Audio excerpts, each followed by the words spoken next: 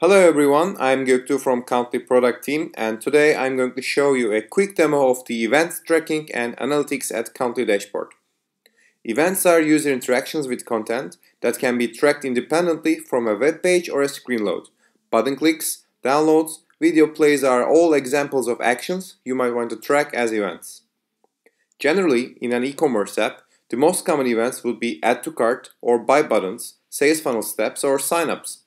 But you can also track any event you need which is important for your app.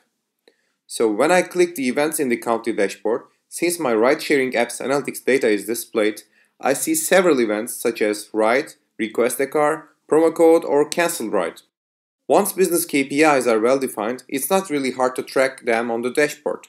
For example, having recently launched a campaign with promo codes, I'd like to know how frequently people are using that and how does it affect the usage. By clicking the promo code event, I can see the usage trend on the right and also count the duration of the events. I see that the launch was a couple of days ago and after that, people started using it. Also, there's a peak in the graph recently, which might be a result of a big push notification campaign, but I'm not really certain of that with the info that I have, so let's check it with a drill. I click drill, select events and promo code I see the same jump in the graph.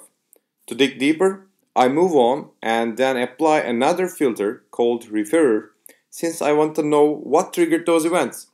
When I select notification and then apply the filter, here it is.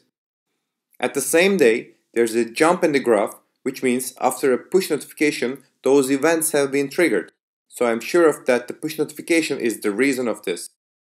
I can also bookmark this drill view for quick access in the feature View the user list triggered that condition and even send a targeted push saying a thank you note and maybe offer another promo code. Well, that's basically how the events section can be used and leveraged to get more insights. I'd be happy to hear your specific story and suggestions to improve it. And if you have any questions, feel free to reach out to us. Thanks.